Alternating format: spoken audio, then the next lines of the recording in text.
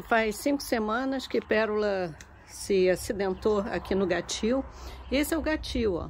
Nós colocamos tela de nylon em toda essa parte aqui da, do quintal e eles saem por ali, ó, na janela. Aí passam por aqui, pulam e tem ali um pouquinho de terra onde eles fazem xixi cocô.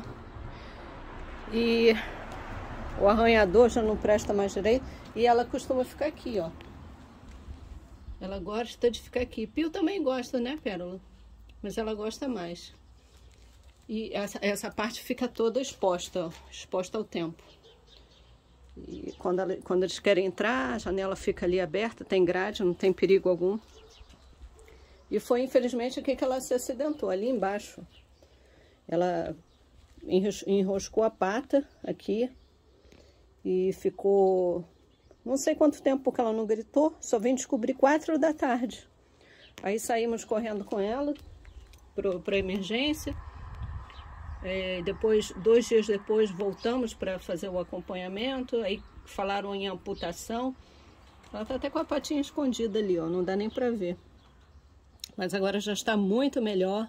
Está fazendo tratamento de ozonioterapia. A gente está fazendo também mocha. Mocha bustão, uma técnica chinesa também que está dando muito resultado, resultado super positivo.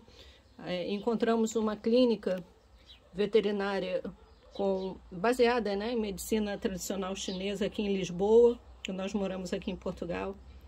Está dando super resultado. Então aqui só para mostrar para vocês o gatil, né? Para a gente entrar, a gente tem que desconectar aqui, desamarrar tudo direitinho, depois amarrar com muita firmeza, porque esses gatos são bem espertos. E aí a gente faz a limpeza aqui do gatil. E aí é isso, porque a gente não deixa eles irem para rua, né? Tem outros gatos aqui também, às vezes não são vacinados e enfim. Segurança. Então vai, Pérola. Continua aí com o seu cochilo.